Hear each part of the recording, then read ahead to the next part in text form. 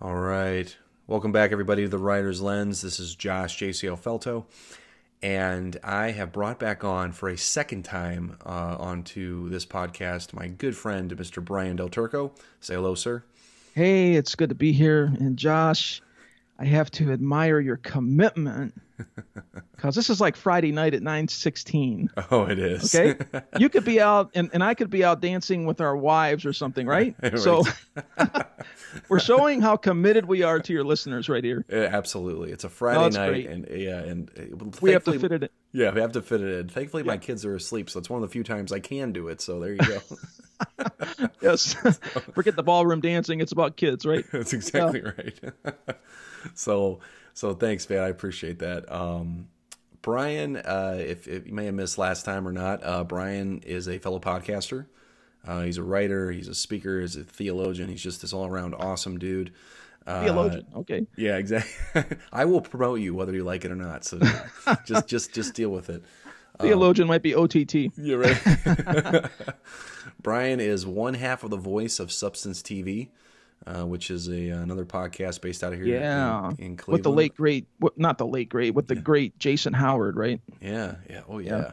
yeah, Whom I also had the pleasure of, of being on there earlier as well last year. Yeah, we're we're probably going to have you on there again soon, so get ready. Oh, okay. I'm ready. I'm ready. I just I think we're going to. Uh, Jason doesn't even know this, so if he's he's hearing it for the first time if he listens to this. But uh, I was thinking about it today. Yeah, we got to get you back on and talk about narratives. I Oh. I just yeah was sensing that today. I'm, I'm excited for that. Then, if that if that was the official call to action, then yes, Oh. I'm totally there. I will totally Okay. do it. It's going to be good, man. Substance TV. We got a great series on right now. I don't know when you're listening to this, but if you can go back and hear, there's a four part series on right now dealing with a former lesbian, a former homosexual. They're now married. They have two children. They work in the area of um, sexual brokenness and sexual fidelity and wholeness. That's and awesome. uh, yeah, it's a, it's a great series right now. very controversial topic for today's day and age. I know.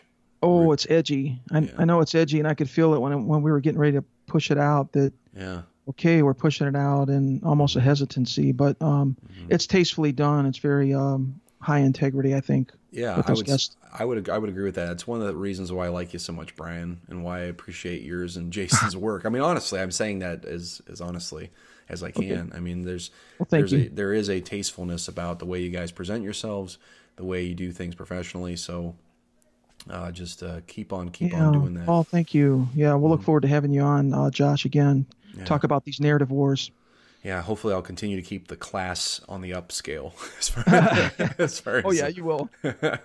you will. So, so on that note, uh, Brian is also the well. You're also the host of your own podcast, which is Jesus Smart.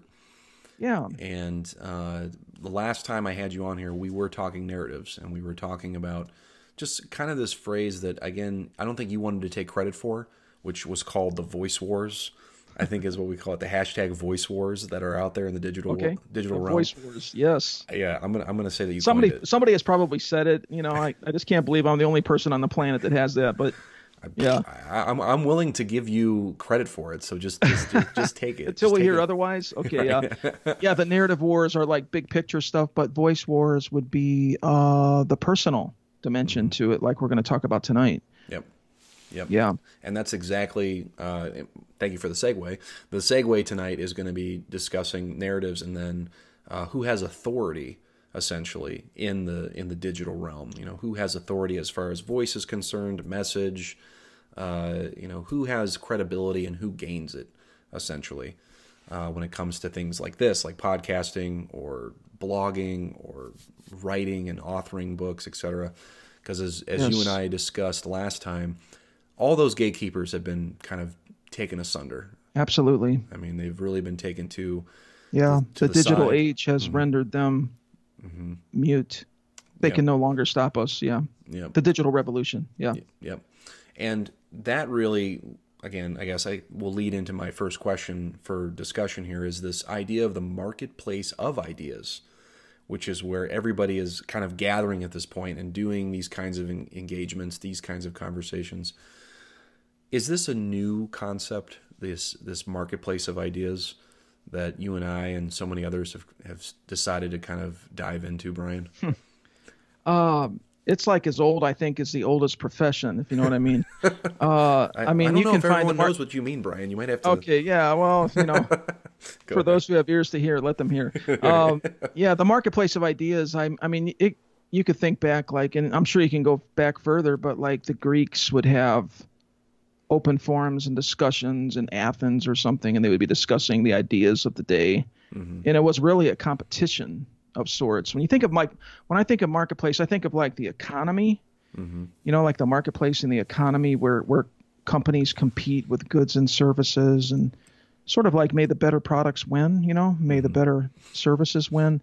And so the marketplace of ideas to me is a um, an open, free exchange of ideas where conversations can happen, narratives can compete, and um, may the better narratives and the better ideas float to the top. You know, Mhm.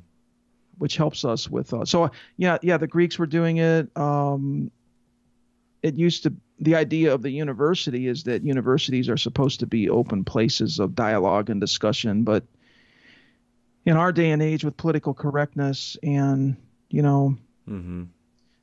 A lot of that's some of that's a lot of it has been shut down actually Yeah, it's But, kind of a uh, scary thing, actually.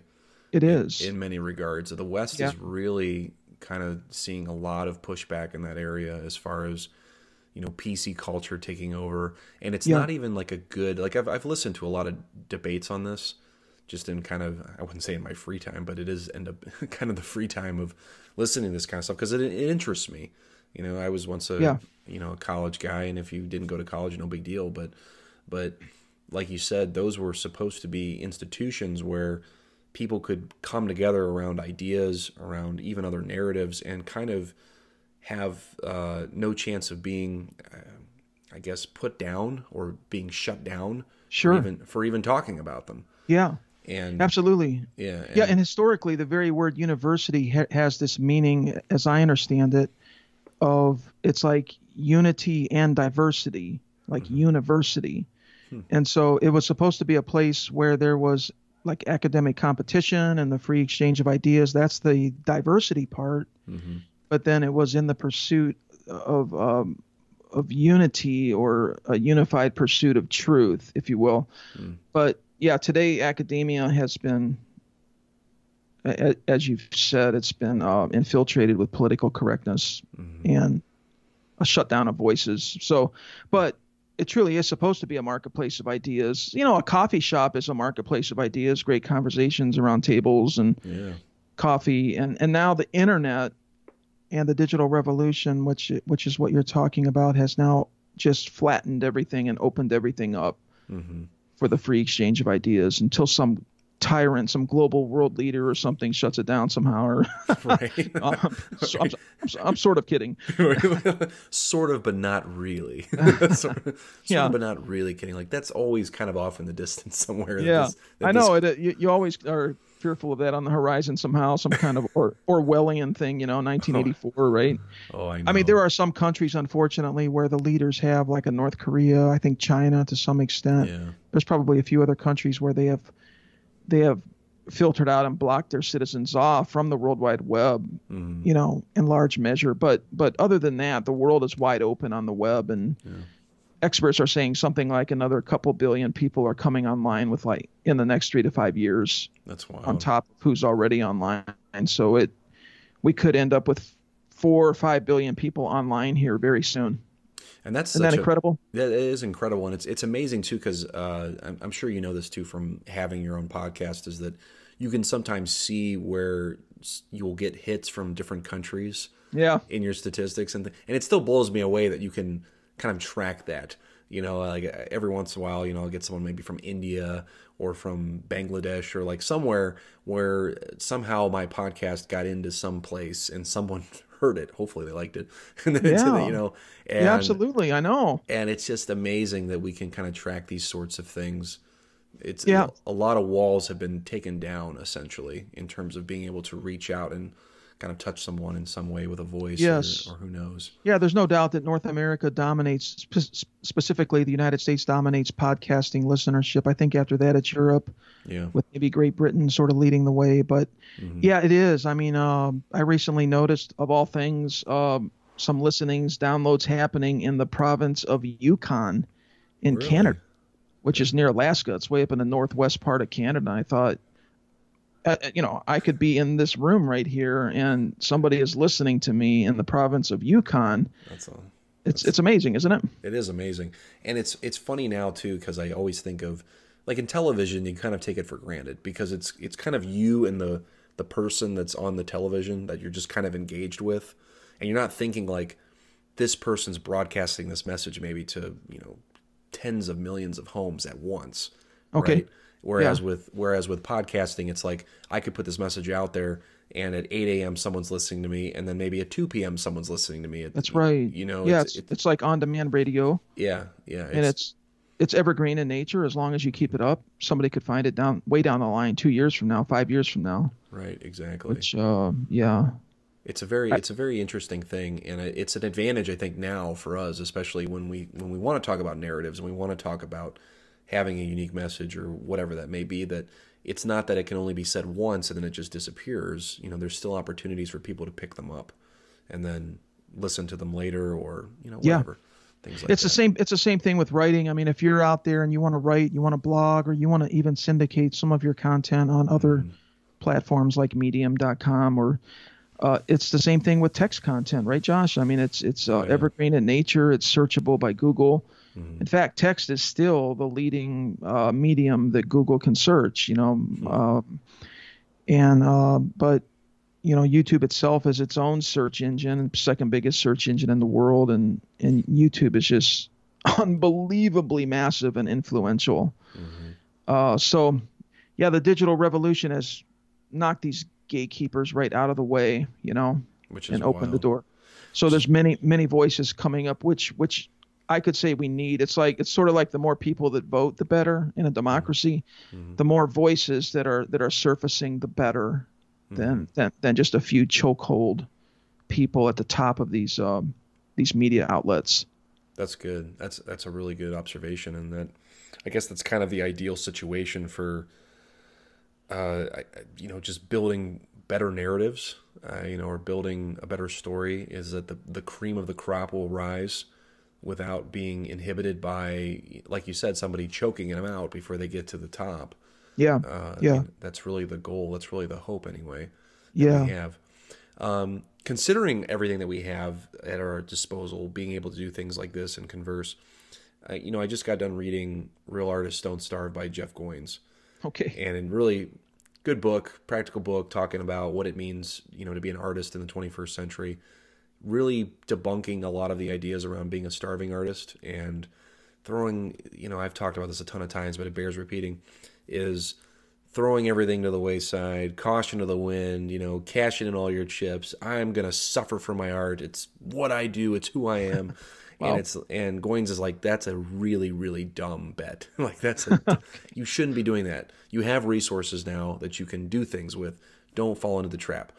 And he he doesn't really coin it himself necessarily, but there's a there's a gentleman in his book that he says calls this next generation the creative class Yeah. because they have the ability to do a lot of different things in terms of interactive, uh, you know, for podcasting, for video, for different mediums, the ability to communicate and convey information, Yeah. you know, giving information. So, how does all of that then, considering all that everything that's going on, uh, how does this idea of the creative class then really resonate with the, the digital age of entrepreneurs? I mean, it's almost like a, a perfect marriage in a sense, right?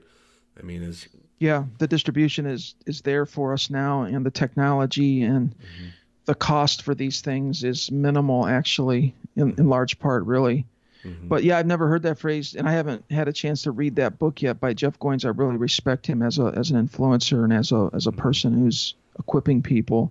Haven't heard the phrase the creative class. Interesting. I have thought, you know, I heard about a title some some years ago, and I haven't read this book either. I know about much more books than I've read, of course, but uh, I think that's most The- people, Brian. It's like, yeah, really.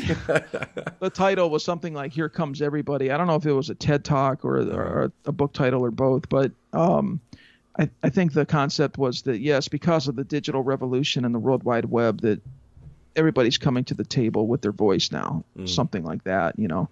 So that that kind of parallels this idea of a creative class. Mhm. I like it. yeah, So um, yeah, I mean, it, it dovetails with this digital revolution. Um, it's in a, in a real sense, I think the I think that everybody's creative. I think that everybody has a voice. Mm-hmm. I think that forever everybody has had something to say, mm-hmm. but now this space, the digital space, has provided the opportunity and the distribution to bring your voice to really a global table. Mm-hmm. You know, um, yeah, it integrates right right with the digital revolution. Yeah, and it and it does it in such a way that people can almost, and this is just so true of social media, is people can broadcast this thing, they can talk about these things, and you can kind of hide a little bit behind a computer screen a little bit in, in doing this, engaging even in the the voice wars. You have the ability to kind of be shielded in some respect. Yeah, in your underwear. yeah, yeah, yeah. I'm not wearing any pants right now. We're having this interview. no, I am wearing pants, right. Hey, man, it's 9:30 on Friday night. We get cut us some slack, right? right, exactly. Just making sure you're awake, listener. No, so, uh, so, so, but the but the point is, is that there is this ability to kind of be shielded in some way. There's still a buffer, even though our voice is still going out there. There's still a little bit of a buffer in place. You're talking about with written text, yeah, with, with writing. Okay. Yeah, yeah. So there's still a little bit of a buffer in place, and but there's still this uh, there's still a, a, need, I mean, especially if you're trying to get a message out there, there's still a need to have a bit of strategy, to have a little bit of a competent message, right? Like sure. if you're just throwing out opinions left and right that don't really have a cohesive message, would yeah. you say that this is where, you know, you're not going to find credibility then there, right? You're not going to find someone that has a maybe a credit or will be taken as a credible message because they're sort of all over the place. Yeah. I mean, what do you, what do you think about that? Yeah, I mean, I think that we all have sort of a life message, and there may be like seasons throughout our life where there may be perhaps different emphases because mm-hmm. we're always growing and developing, right? Yeah. As as learners and as communicators, and the contribution that we can bring mm-hmm. to the to the table. And if I could just, you know, like a sidebar, I I just think that like quality conversation and quality content creation is so important because what it does is it really has the potential of moving the needle. It's like upstream from a lot of really good things that can happen downstream. You know? Yep. It could affect public policy to live better together in a society, right? Mm-hmm. Or it could it could help shape curriculum and education that is, uh, you, you know, a, a better quality of curriculum or better ideas, be, you know, better ways to uh, raise generations of, of human beings. I mean, mm-hmm. uh, so yeah, quality conversation, quality content creation, really up there with upstream. There is quality ideation, mm-hmm. which you know the best ideation does not happen in a silo. It happens in a conversation. Yeah. I mean, there's the time for the silo thinking, but then bringing it into conversation is where it can really sort of develop and grow and become something better than it was by its you know before by mm-hmm. yourself and then and then content creation flowing out and and then downstream from that there's there's benefits um, so um, I'm sorry. What was your? I, I, got off onto that sidebar. What was your your, no, your was, question, was... Josh? I forgot no. your question, and I'm sorry. No, that was really uh, good. I uh, think we were we were basically mirror, uh, marrying the idea of the digital age with the creative class. Yeah, and how, and how everybody kind of has their own life message. Oh that, yeah, you were saying uh, yeah. sh- should our life message? You know, I yeah, I think that there is like integration to our life message. I think mm-hmm. that each person is unique and, and has a unique voice signature mm-hmm. and a unique life message. Mm-hmm. And that may, you know, like adjust and grow over seasons, of course, because mm-hmm. as we said, we learn, we grow, we become better communicators, and we learn better. But um, yeah, I, I, I do think there needs to be a a continuity or, or a wholeness to our life message, like a focus. I think Jeff Goins is right. There there needs to be something strategic mm-hmm. and intentional about it yeah and that really allows a person to become more of an authority in yeah. whatever space that they're trying to be i mean you yeah. know you, you got to be competent you got to be able to articulate your message but you also have to be consistent to some degree as well right i mean that's just i think that kind of goes yeah.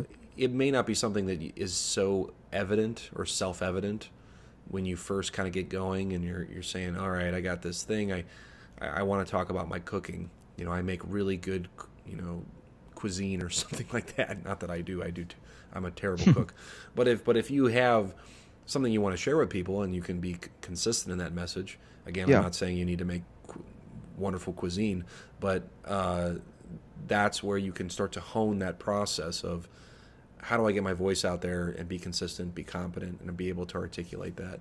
Yeah. uh, is- yeah, I think we I think we find our voice by using our voice Mhm. and by and by using it a lot. So like if you're writing, write and write and write, you know. Mhm.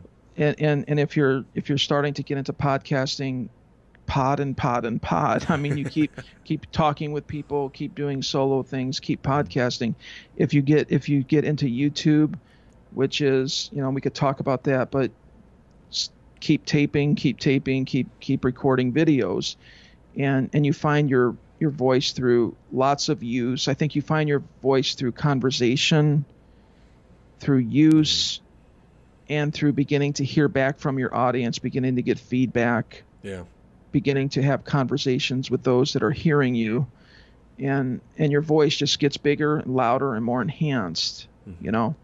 Um, but yeah, and and don't fall into the trap. I mean, I I feel that everybody has something to say. Now, not everybody needs to be podcasting necessarily. Not everybody needs to be writing.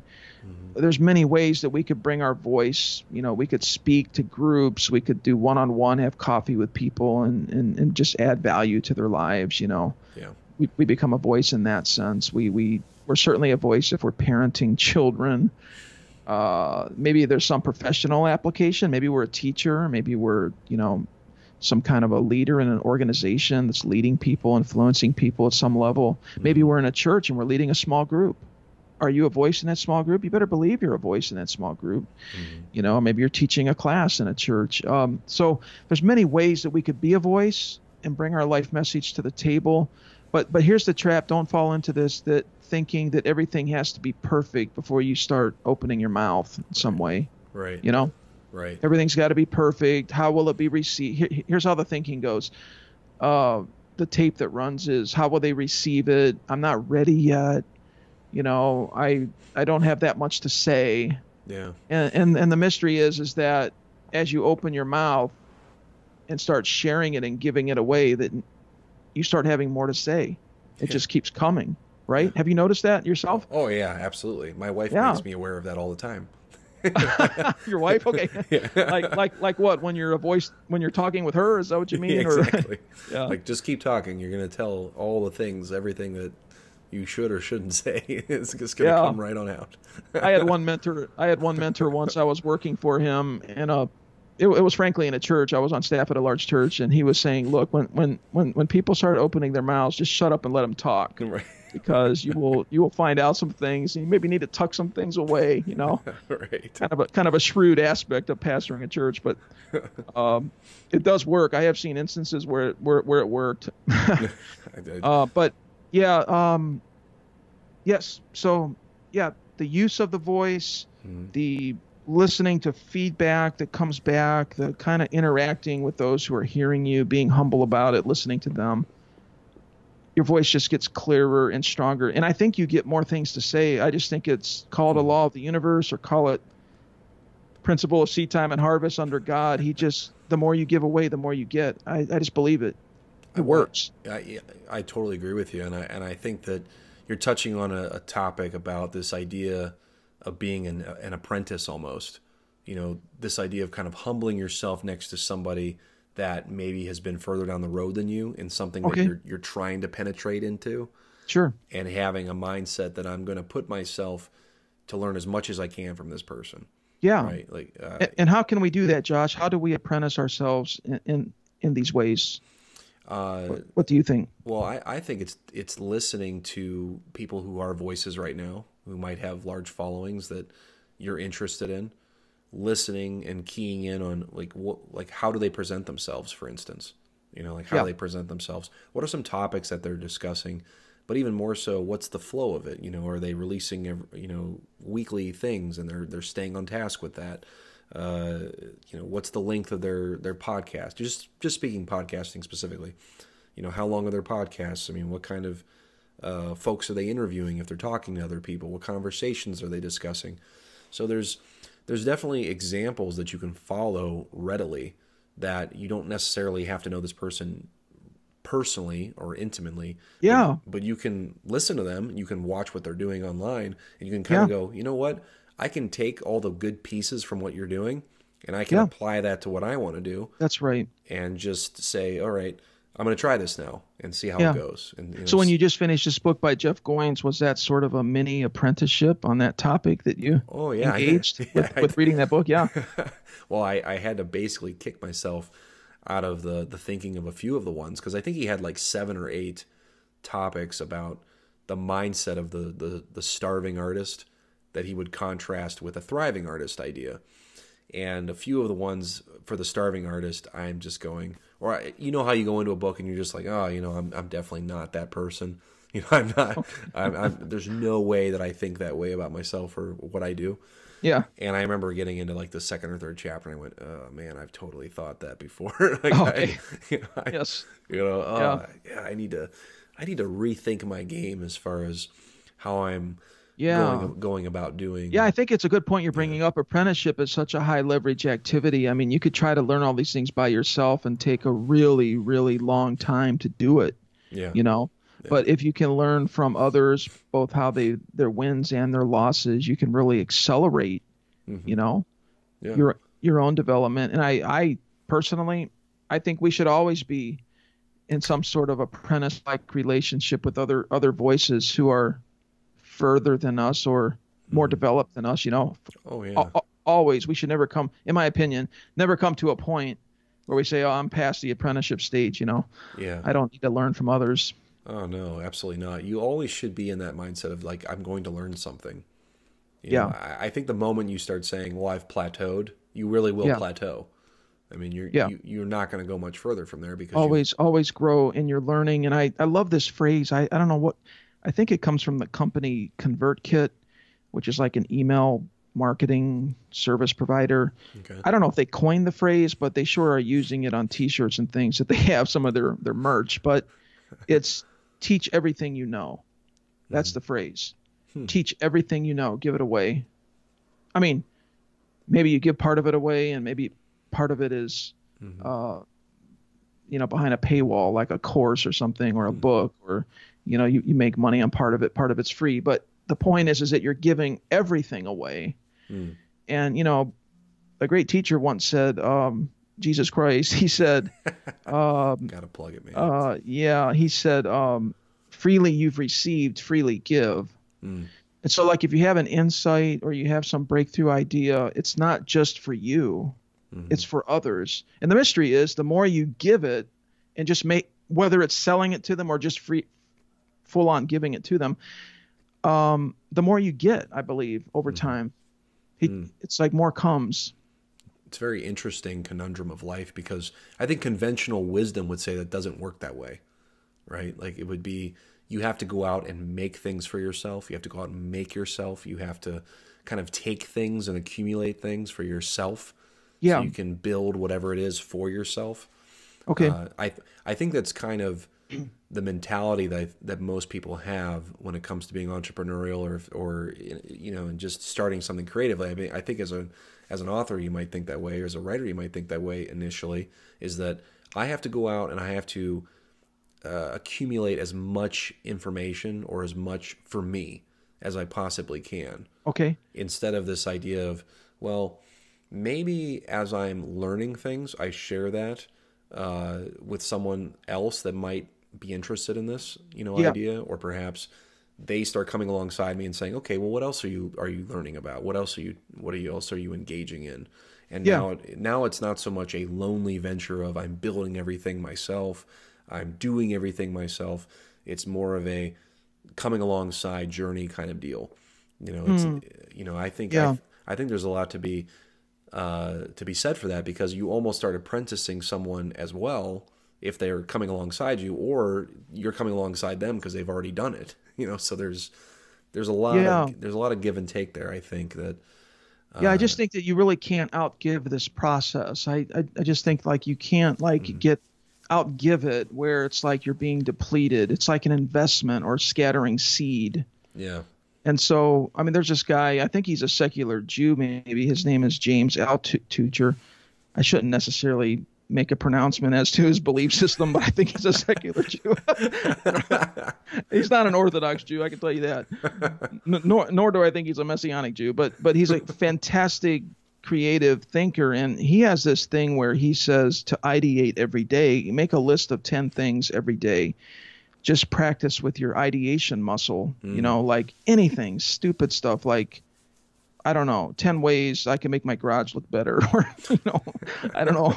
Here's here's ten ideas on on how to make pancakes. Just just come up with lists whether you like it's necessarily something you care about or are very interested in or not. Right, right. And and so, and he says most of it will be junk, but some of it will be gold. And you'll and you'll and you'll ideate a lot more than you can ever execute on, like in a lifetime. And so the idea there is to bless other people. Come up with lists and just mm-hmm I mean, maybe you're thinking of a company and they're struggling with marketing or something, and, and you have I just you think you may have some ideas that could possibly help them. Mm-hmm. Make a list of ideas. Maybe it's things you've read that they haven't read, or things that you've been exposed to that they have not. Make a list and just give it to them. Just yeah. give it away. And um, and I, well, you, you you you you just can't. Uh, it, it's it's like you can't outgive it the process. It's like you can't out ideate it. There's more where that came from. Mm-hmm. You know. And I, this is really good because I think this is something that I want. I don't want to say it's my generation, but maybe the generation behind me is so interested in this kind of stuff. Like they're really interested in like this kind of altruistic marketplace experience. Yeah. That is way more in the in the thinking of philanthropic like I you know I I want to be able to accumulate influence, but I don't want to do it in a very greedy way because I've yes. seen exa- I've seen examples of that in the past. Yeah, and I and I don't really want to be one of those people. Yeah, that's uh, clearly like the millennials are clearly that. Yeah. yeah like the boomers wrecked everything with their capitalism, you know. right. And but the millennials it. now they don't want to do what their parents have done. They want to, you know, and and and there's just so much good there in in that millennial thought, like justice issues and uh, what's the term? Social capitalism is that the term or social entrepreneurship? Mm-hmm. Uh, you know, we talked with one couple on Substance TV that this they're definitely a millennial couple. They have a young family, but they lived, I think, in Colorado or California at the time. They felt led, directed to go to, I think it was Uganda. It was in Africa. Mm. It, it, was clearly social entrepreneurship. They started a company and empowered all these women and their children with employment, like hundreds of families. Wow. Wow. And created these products that were then sold back into the U.S. And, and these guys are like documentary filmmakers and artistic people, but they they did the social entrepreneurial thing. They they felt led to do it, and I mm-hmm. think Costco picked up some of their distribution of these products. It was an amazing story. They came back, left that company after some years in mm-hmm. other hands, and came back to the states. They're um, mm-hmm. documentary filmmakers. They're they're they're kind of killing it yeah, with. Uh, but but that's that's the motivation they had. Yeah, and that's and I think that's really the mindset of this younger generation. I mean, I I say younger generation as though you know I'm over the hill somewhere or something. I don't know, uh, but but I I mean I consider myself to be like an elder millennial because I'm kind of on the cusp. Brian being born in you know Orwell's '84, I was born '84, so I think I'm okay. Kind of, I think I'm kind of on the upper echelon of the millennial millennial generation that was some kind of cosmic sign right there. You being born in '84, you were born in '84, so this is okay. I know, right? George or- Orwell's prophecy. Okay, right. so Josh has got to deal with the narrative wars and the battles. Just, okay, just the way that it is, man. I, am I'm I'm, yeah. just, I'm playing the part I was given, so you can't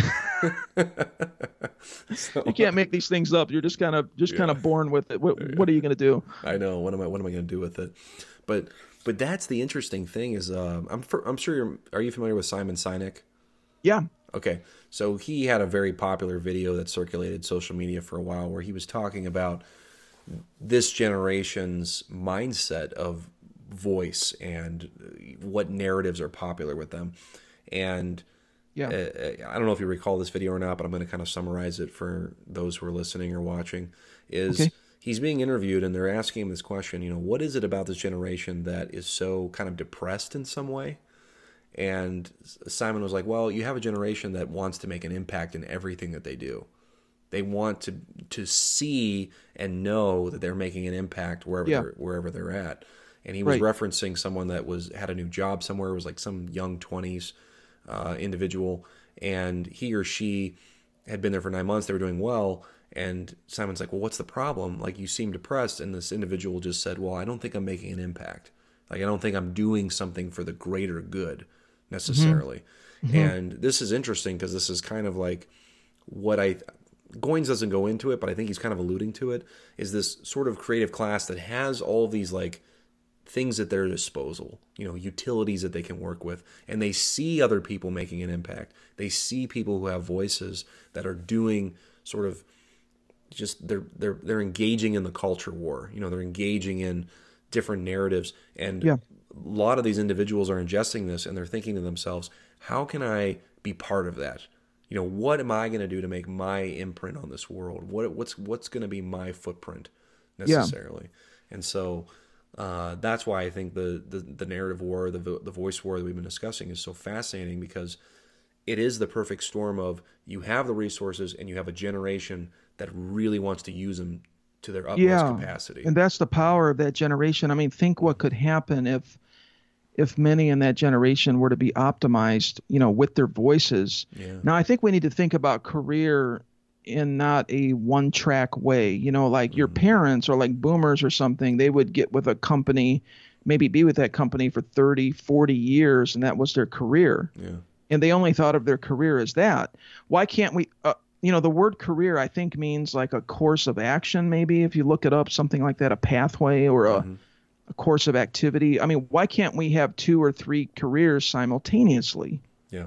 in a sense. For mm-hmm. example, I mean, somebody may they may have a career in a company, let's say, or in a profession, if we could use that term, that supports them and their family, but they may have another career on the side. Maybe they do nonprofit volunteering or or some kind of a justice cause or something that they're connected with, or Yeah. or maybe they're starting to create content, and and that is just as valid a career. They may not be making big money from it. Mm-hmm. Maybe someday they will, but you know what I mean. Yeah. It, it's it's a it's it's like their profession is really something that I've, I've heard it put this way by someone. Their profession is someone that's their profession is something that supports their real gig.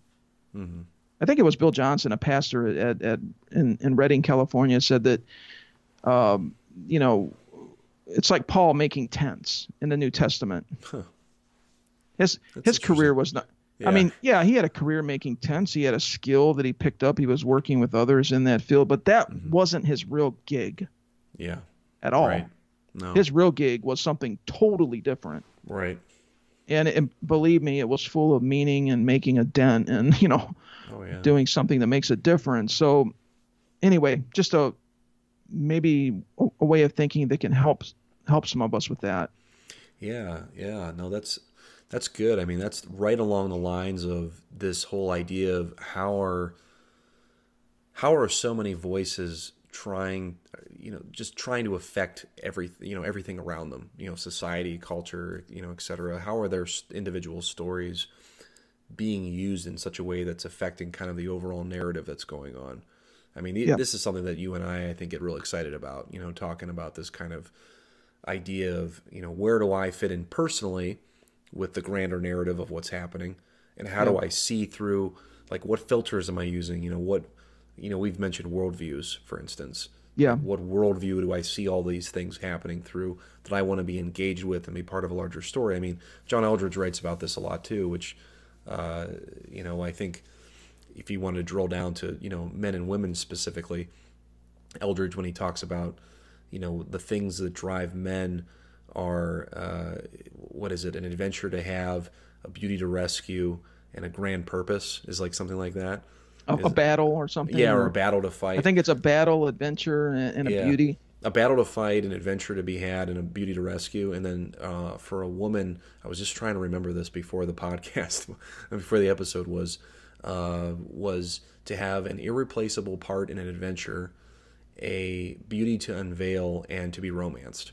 Were the three Okay. thing were the three things for uh, for a woman's heart. So this grander narrative that man or woman is a part of, you know, having a unique role in that and seeing how that can kind of come to fruition is like I mean that's on everybody's heart whether whether they're Christian or non-Christian I think you know or whether you choose to admit that I guess is yeah. And there's some who would struggle with those ideas. Like I'm sure feminism would struggle with those ideas. Oh, they don't want yeah. I mean, I, a beauty to be rescued. They don't want to be aligned with a great adventure. You know they want to have their own uh, and, and women do. I mean I think women can have their own career their own work and still be aligned in some greater thing with their husband together or in but yeah i it's a design issue and um right? Isn't it a design issue? Yeah yeah. To me that is my worldview that it's a design issue that um we're somehow in this larger process now of that design being restored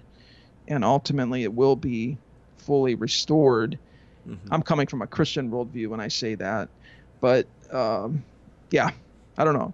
I don't no, know what else no. to say about it right now, but that's and all I'm, I'm, you know we all have parts to play. We all have personal narratives to mm-hmm. to express, which fit in with this greater, grander narrative that's happening, mm-hmm. right? Yep, yep. And that's a I think that's a whole other rabbit hole we could go down real deep. At some, yeah, at some yeah, a big rabbit. Yeah, like an Australian jackrabbit or something. A big a, a big rabbit hole. That's exactly right. Yeah. But but I think it also is is is good because it, it leans into this idea of uh, you know we've been talking about the voice wars and there's so many voices does that make the current time that we're in a little bit unsteady in terms of what the future looks like because there's so many voices competing i mean we do we did say in the beginning that we hope that the best ones rise up to the top right like we're, we're hoping that there's the, the the great narratives that will lead us towards better you know sort of better times or or yeah. better society and all the uh, whatever it may be. We hope that those are the ones that rise to the surface, but we are in kind of a transitionary period, or maybe it's transitioning into something else. I don't know, but but the transition right now can make a lot of people feel like this is kind of unsteady. You know, seeing so many voices all the time. I mean, the the rules aren't really out there yet for how to deal with that. I mean, what do you uh, yeah, I mean, you know, there used to be a time like if you think back to like colonial America in the 1700s. I mean, the main prime voice was the voice in the pulpit of churches. Yeah. That's what I mean. There was no social media, of course. There was no radio. There was no television. There was no print newspapers. Uh, so you could say that well, the messaging then and the voice that was in culture then was was very uh, sort of unified. There was much more consensus not everybody would have been a churchgoer or a Christian, but it was like much more influence within culture mm-hmm. and society. But now we've had, you know, the advent of electricity and radio and TV, media, mm-hmm. personal computer, the internet, smartphones, tablets, new media, YouTube, podcasts, all this fragmentation. So there's less consensus. Is, is this kind of what you're getting at?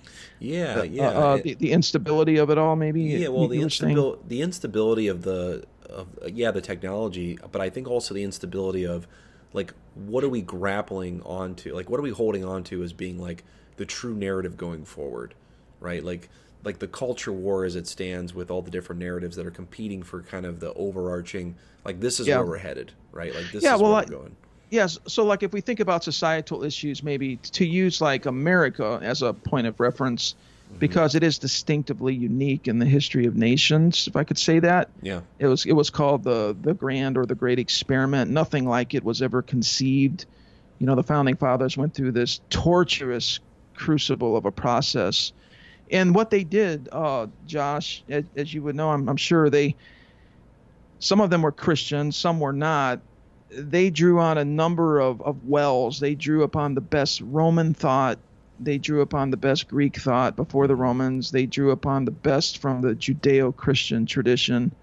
And they sort of forged this new set of ideas. Mm-hmm. America's been called a nation which is founded upon ideals. Mm-hmm. It's not like just ethnicity or a nation of immigrants, frankly, but mm-hmm. it, it's a set of ideas. So now you don't have to be a Muslim or a Christian or a Buddhist or any sort of a faith belief system to rally around those ideas. Mm-hmm. It's like natural law. Yeah. So just in that sense, like how I mean, it, it's it's a it's a very real concern. How do we live together well in a society? right?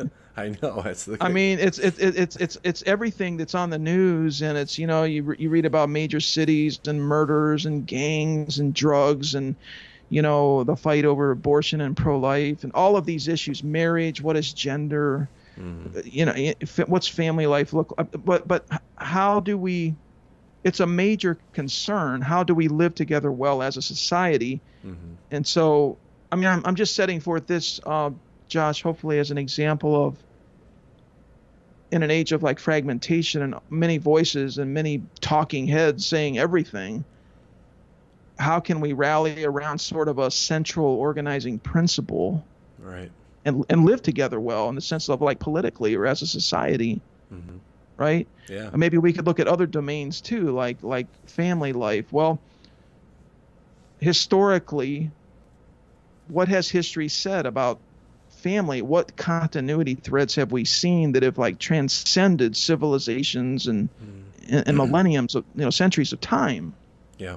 Well, we, we've you know we we we, we a, a picture kind of emerges of what works mm-hmm. and what has been sustainable. So now, from a Christian worldview, I would say say like the Bible is a central. I mean, it's a collection of literature that if you really look at it like apologetically or something mm-hmm. it's a collection of literature that is wholly unique in the history of the world yeah. i was thinking about this before our podcast okay you have like something like 40 or 40 plus authors mm-hmm. of these 66 collections of literature mm-hmm.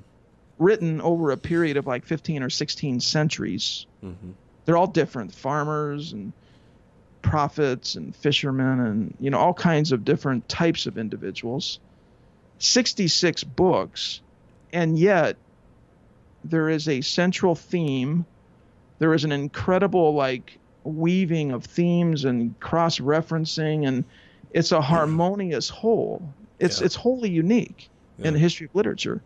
There's no collection of literature like it. Well if if you just look at that like apologetically i mean so what can we learn from that collection of like wisdom literature and historical literature, the gospels themselves, you know, letters that were written to early communities of faith. Now you may or may not be a Christian and, and that's perfectly fine. But I you're asking how can we what can come against this fragmentation? Well, I think it's things like good literature, a collection of literature like that that has stood the test of time, right? Yeah, right. Be- bestseller in world history by far, nothing like it. Yeah. I think Nietzsche, the European, said something like, when he was dying, he said like a in a hundred years the Bible will be gone, it'll be dead. Yeah. And you know what happened a hundred years later? His home. Have you heard this? Mm. The house that he lived in was a distribution center for Bibles. Wow, that's great. So I mean, it's almost like okay, so um, but no, just the just its its timelessness. It continues to be the world's bestseller over time, and so I mean th- that in itself. Or if you look at like a society like America, a, a set of ideas that were drawn from the best of Greek thought, Roman thought, Judeo-Christian mm-hmm. thought, gives us a consensus to rally around how to live together well. Yeah. How to not kill each other. How can we live as a nation mm-hmm. for the good of all? Mm-hmm life, liberty, and the pursuit of happiness. I mean, what's wrong with that? So, I don't know. No, a little bit of ranting there. Sorry, Josh, but no, I love it, man. I love it. I, I, I appreciate that because I, I think that's a lot of what that concern is for a lot of folks that maybe you know they're looking at the lens of America, they're looking at the lens of the West, and they're just saying, you know, what what is the ultimate ideal of the American dream, or you know, what is the ultimate American story? And there's a mishmash of them. You know, there isn't just, uh, you know, I'm a third or fourth generation person that's been living here forever from Western Europe, and that's the greatest American story. Or you know, I was, I, you know, I hijacked a plane and I found a way in somehow, and you know, I've yeah. I've lived my life yeah. here as an abiding citizen after I got my you know permanent residency or whatever. I mean, there's there's so many unique stories within this country yeah, that, it's really a collection of stories from all over the world. Yeah. Right. Yeah, and that from uh, from from all nations who have the, this melting pot that's been called. And if you really get back to the source material of like the early founders and their source ideas and, and where they got them from, and again the very crucible like process of of crystallizing those ideas and sort of codifying them in the Constitution, Mm-hmm. in the Declaration of Independence, and other literature of the time. It's really a beautiful, elegant set of ideas Mm-hmm. of how to live together well. Yeah. But of course, today there's much warfare over those ideas. Just that, you know, Yeah. there's much narrative wars and and academic uh, assaults, Mhm. and uh, frankly, I mean, it, it, today we have uh, those who want socialism. Yeah. It's just crazy. I mean, look at look, look look at the outcome of socialism in the news, like right now today in Venezuela, I know. and the country's been absolutely destroyed. Yeah. And that, But anyway, we're not we're not here to get political. I'm not. I, I, I, I shouldn't be so political, but um, no, but but but but I think it's good because um, again, just staying on the the topic of American ideals and kind of this idea of of you know how do we live together well. One of the really amazing things about the founding fathers and when they were developing this system is that in order to live together well, there has to be a government that is removed from being the moral compass in Yeah. some way. I mean, the Yeah. gov- the government cannot be the moral compass of of its country. It just can't be. It can like elect what you can say or what you should believe, right? exactly. So the government truly has to take a step backwards and That, that was their view. Very Yeah. limited, small government, limited. Yeah, and that now the people can step forward and Right. they can appeal to the people by having a platform that now the governing body has allowed for, has allowed for this Yeah. marketplace of ideas to happen. Absolutely, yeah. You know, so that now people can engage with each other and Yeah. can win one way or the other.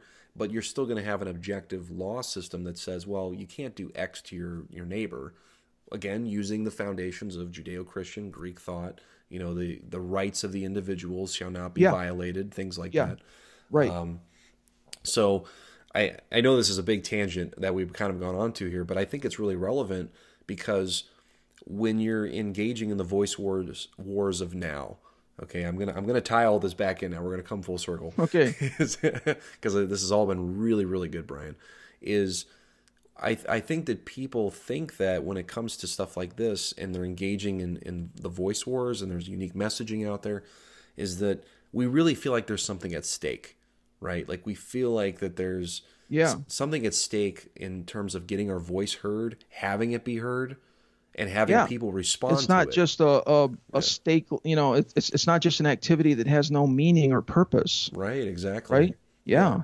E- Exactly. And so we re- we recognize that. I think we recognize that as consumers, as listeners, as people that are looking for a narrative or a story that we resonate with.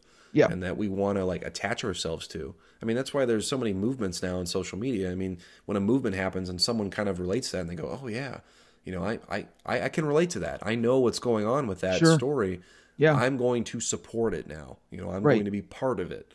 Yeah. and it to me again it's just so fascinating because if you just think back you know uh, again you know since we'll we'll continue on the theme of of uh, Judeo Christian Judeo Christian thought is imagine imagine the day of the internet if if if Christ had been you know on a computer somewhere tweeting you know and touching the rest of the world as opposed to relying on these you know 11, well 12 then was 11 11 goofy you know fishermen and tax collectors to get the word out you know uh, you, you know what I mean?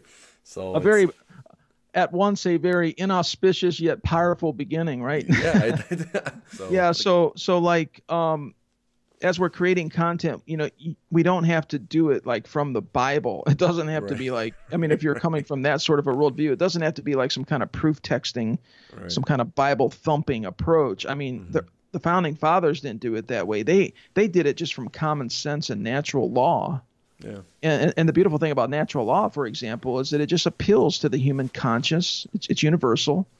You don't even have to be exposed to the Bible to understand natural law. It's just like an instinct, or you know, you, you, you can appeal to the human conscience. It's like things that are just ev- it's just like common sense things that are evident in history. Mhm. Um, you know, um, so anyway, I, I it, if if you're a voice and you are a voice whether you know it or not you may not be in touch with it yet but uh, or maybe you're more in touch with it and you really sense like you're in a cocoon and you want to emerge hmm as a voice we're encouraging them right josh? Yeah I mean to emerge. Yeah absolutely. To I- go I mean, through the process of decocooning and come out. And, and I think Every, that, and I think it should be said. I know I, we've been talking a lot throughout this conversation through this lens of you know Judeo-Christian worldview, et cetera. And and I and I I wouldn't want that to seem like an intimidating thing. I mean, if you're listening and you're someone that yeah, doesn't no. prescribe to that, and if you're thinking that we're saying come forward, but only if you agree with us, no, I, I don't I don't think that that is no the route whatsoever. I think the route is you know have your voice be heard. Okay, In, engage with people that don't think the same as you. You might learn something. You know, engage in that space so that you know we we eliminate a lot of this sort of vacuum thinking right like i'm just yeah. i'm in an echo yeah. chamber and the person who agrees with me most is me and they should you know you know like it's you know I'm a, vo- I'm a, voice to me yeah, yeah. I'm, a, I'm, a, voice to myself and uh, because a story is only as good in some sense i mean it's good to the person who experiences it but when you tell it you get all the reactions from people right? You get to see, you know, if it if it is touching them at some level, uh, if it is resonating with them, and and there, yeah. there's such power in that. There really is such power in that. Yeah, there's power in dialogue, power in conversation, power in forum thinking. You know, conferences. I think of conferences as like conferring together. Conferring. That's kind of what the word means to confer with one another. Mm-hmm. So there's power in an open, honest, authentic exchange of ideas. Mm-hmm. But we can't be shut down. We can't be stopped. We there, there there cannot be this thing of you can't say that or or that's that's hate speech if you share that particular idea.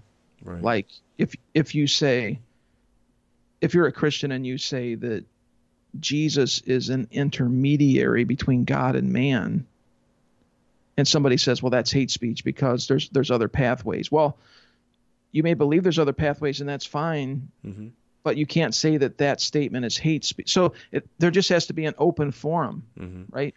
You have to, you have to have the ability to and, offend. You know, you have to be able to offend people. And, yeah. You know, li- you know. There's obviously the the live with the consequences of such, but you have to at least be able to see that. You know, you have to be able to actually experience it. Otherwise, again, yeah. it's the echo chamber of the mind, and you don't really know. I mean, you don't.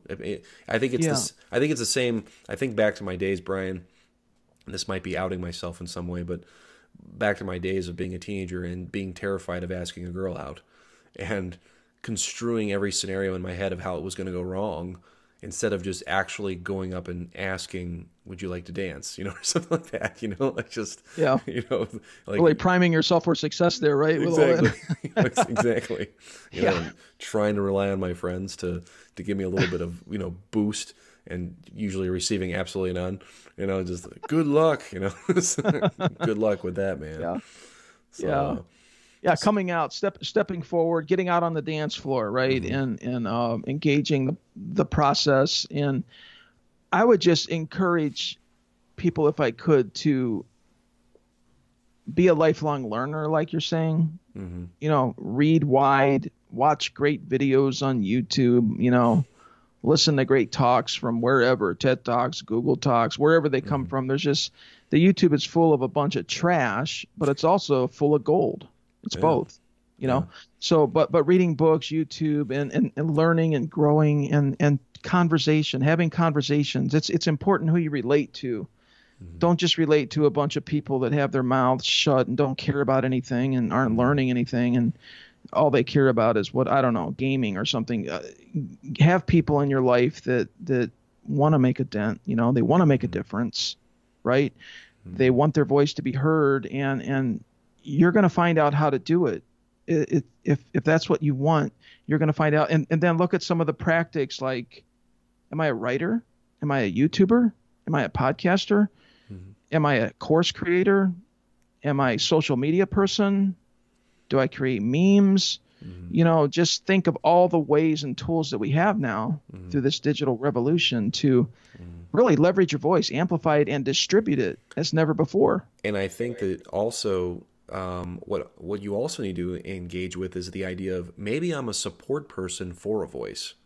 Like, okay. Like maybe I'm a patron. Maybe I'm someone that is yeah get behind voices that yeah. resonate with with you yeah maybe yeah. maybe i get behind a voice that i yeah, i feel strongly about maybe yeah. maybe i'm someone that has a service that I can provide. Like maybe there's someone who wants to do video for for X cause or whatever it might be, and I have the skill set to make that happen for this for Right. this voice. You Yep. know, I can f- Yep. I can fulfill that need. I can fill in that niche. Yes. You know. Yeah.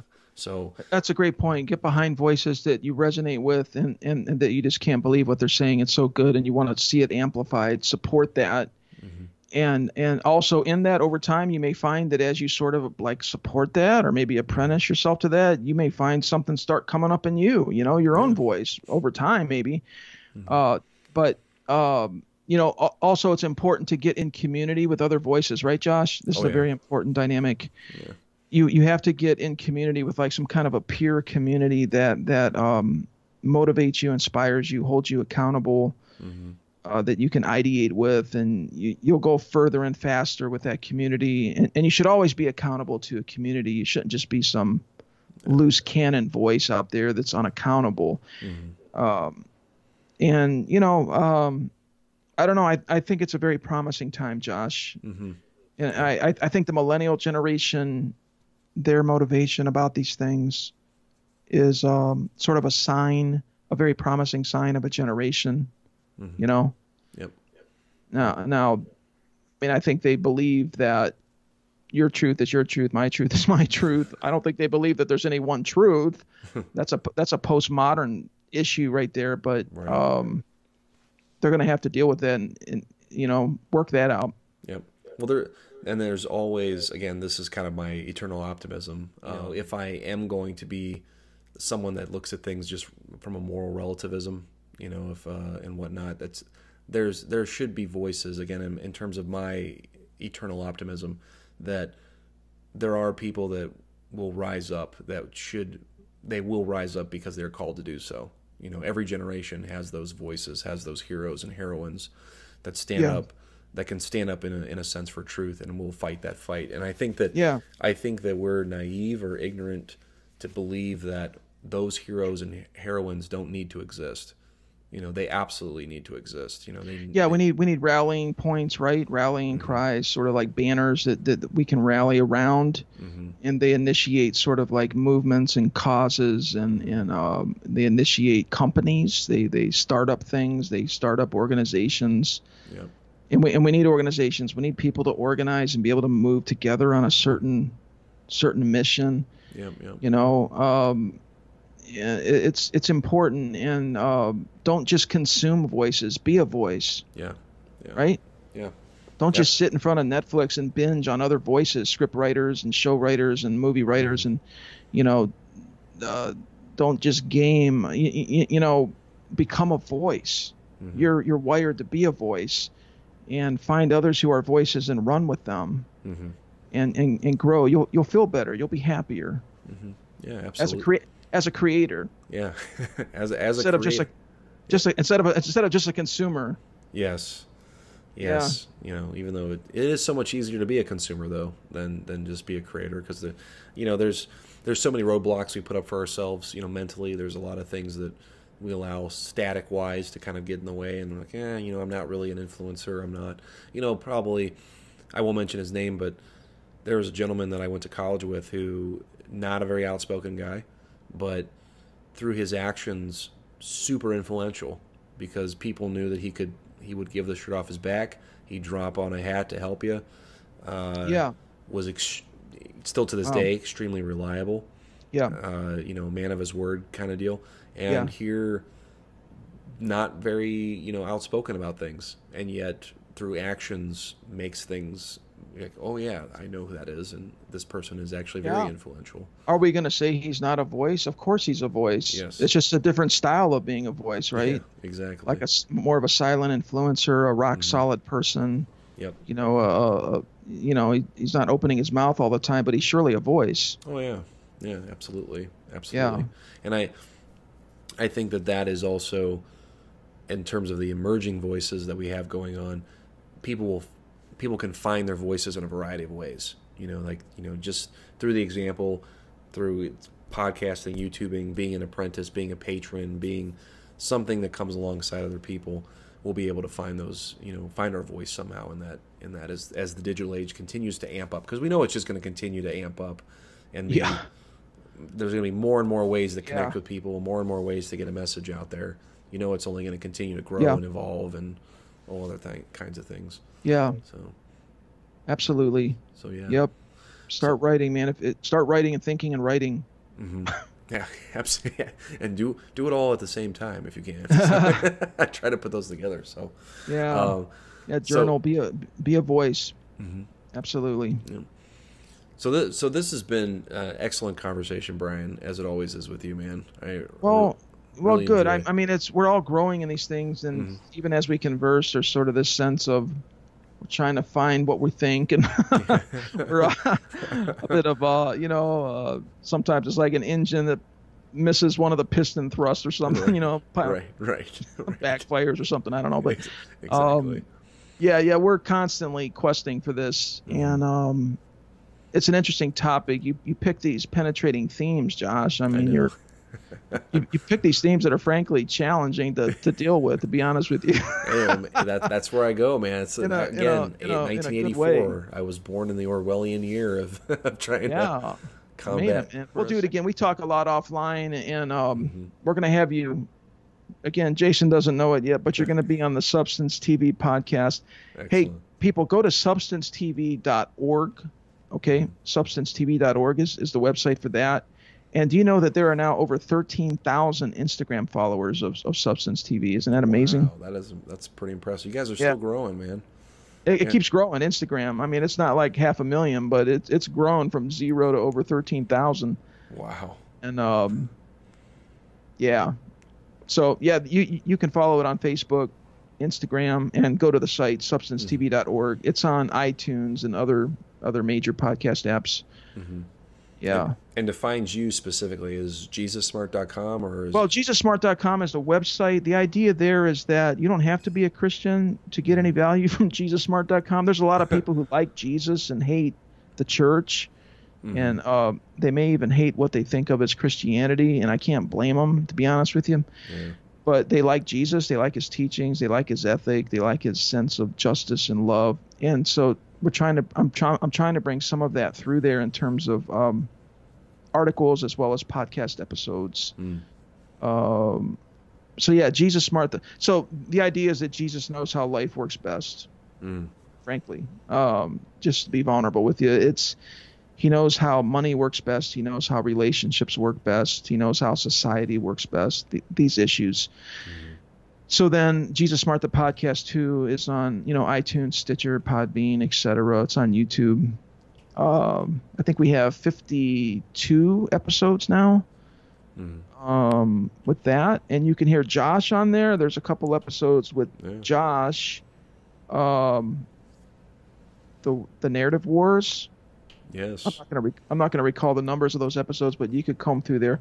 You'll you'll see his name in the title, but the narrative wars and I forget I- the title, the other one. And I think the other one was continuous. So it was the narrative wars, and I think there was something about creativity as well, perhaps. I think about Okay. talking creativity. Yeah. and- yeah. We had a great conversation late on a summer night, sitting outside recording that one. I recall that one. Yeah. The only thing missing was I don't know a campfire and pipes, you know, the, the smoke. But We'll do that. We're gonna do that this summer, I think. oh, We're- doggone it, we got to smoke a pipe. We gotta, gotta fulfill that fantasy. Yeah. C.S. Lewis or Tolkien, you And know. we're just- gonna we're just gonna plop one of these microphones down in between everybody, right on the middle of the desk, and just just talk, just just record whatever it is, and then unfiltered, unfettered, we'll just make it happen. That's right. You Like got a- that new that new omnidirectional mic. You can just put her on a round table that's that's right, man. and just open up the dialogue. Yeah. That's, Um, that's exactly what we're and do. I'm, I'm I'm trying to think. Oh, you were on another episode just recently. We did a mini series called Achieve, and Hmm. I think with you we talked about was it high def living, Yes. high definition living. I think is part of Yes, that Achieve right. series, Yep. which is just current right now. It's a four part series on get this the the science and the research is saying that gratitude and abundance thinking uh, sets you up to plan better and set better goals that you can execute on and achieve more Hmm. if we come from a place of gratitude. And, and, and this is just coming from science now. This is not like the Bible saying this. So we that's part of that series there. Very very good. So Yeah, it was good. It was a lot of fun, I and that's why we're doing what we're doing. You know, you just got to keep challenging each other to get better and better at this as we're learning. Yeah, learning yeah. He together. too is a strong voice, and he's mm-hmm. he's getting ready to start his own YouTube channel. Watch out, man, because I've had some dialogue behind the scenes with him. It is going to be a killer channel. That's awesome. Jason Howard. That's You'll hear about it. Awesome. All right, sir. Well, I'm gonna go take my wife out for dancing evening, perhaps. Yeah, wake her up, Wake her up. pregnant or not. We're going dancing, honey.